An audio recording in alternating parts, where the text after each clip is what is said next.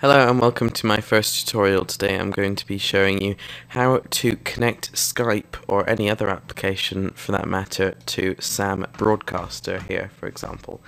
Now you will need a bit of software to do this. I know there are two ways of doing this. I'm going to show you the way with virtual audio cable um, it's software from here. I'll put the link in the description. Uh, latest version 4.1. Um, it's it costs money. You can get a free trial that works, um, although it does cost about thirty dollars. So you'll need to buy that first.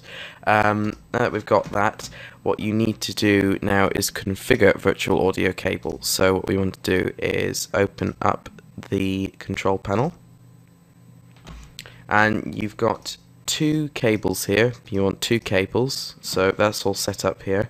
So you can just do two cables set. Um, then just leave all the settings as default. It should be fine. Uh, exit.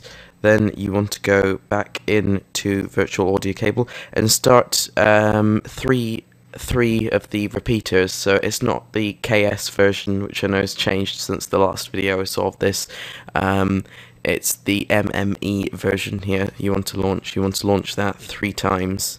So actually I've got it I've got it here. So I'll launch that again and again go so I've got three instances of those. Now what you want to do is configure the lines on here. So first one you want line 1 your your first audio cable to line 2, your second audio cable. Um, then you want your microphone in, which in my case is going to be line in, um, and that will be going to line 2. Now, um, you'll next want to have up here line 1 to speakers, which is going to be up there.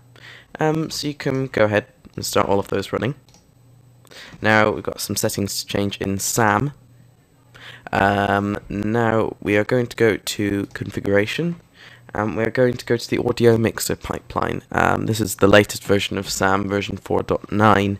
Um, it's fairly similar for the older versions, although there might be some like different slight differences but just put me uh, leave me a message or something and I will see what I can do to help you with that. So we've got it set out at the moment. We want to keep the the output. I made this mistake the last time. Your output device needs to be speakers.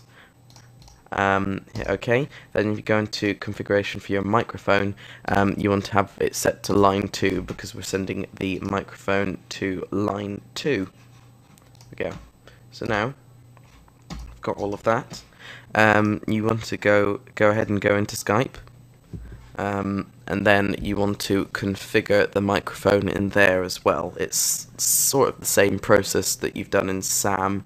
Um, it just you need to make sure so it's all linked up together. So now um, when Skype's launched you go into once it's um, signed in and everything you go into well I'm doing I'm going to go from call in, straight into audio settings.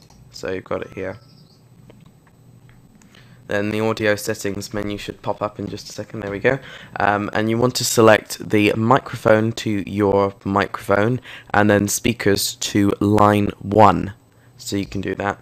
Then then you can do um, a test call. Say you can try it with say Skype test call we've got here, or um, a friend just to test that everything is working for you, um, and then you can put it right into Sam.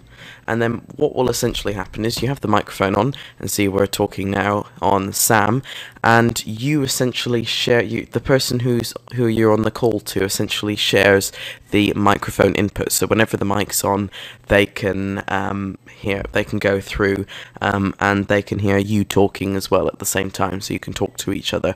Um, but the most important thing is to make sure if you don't want them on, either end the call or mute them. Otherwise, they will come through the mic as well as you. So that's basically how to connect Skype to SAM Broadcaster. Now, it does work for other applications as well, say, for example, um, any specific music applications like Traktor or Virtual DJ, you can set the sound output to line um, 1 and you can that will send it into the microphone for you. So you can basically attach any application to SAM Broadcaster. You can also, uh, if you go into Queue, you can add a file, you can add any well, not actually, not sorry, not a file. You can add a uh, mic slash line in, and you can select that from those there. So you could have a an input there. Um, if you wanted to just have say a continuous feed from Traktor or something like that. Um, you can also link different computers as well if you've got um, connections. But the problem is with this is mainly you have to buy virtual audio cable, whereas um, I know on OS X you can use um, Soundflower, which is free. So PC users are a bit of a disadvantage with that, but hopefully we'll find a free one soon. If there is a free one, I will update it so you could use that instead. Um, although this is probably the best way and most high quality way to do it for the time being. I've tried it myself during a broadcast and it has worked perfectly fine. So there we go. Tutorial on how to make or connect Skype to Sam Broadcaster. Thank you very much for listening. Goodbye.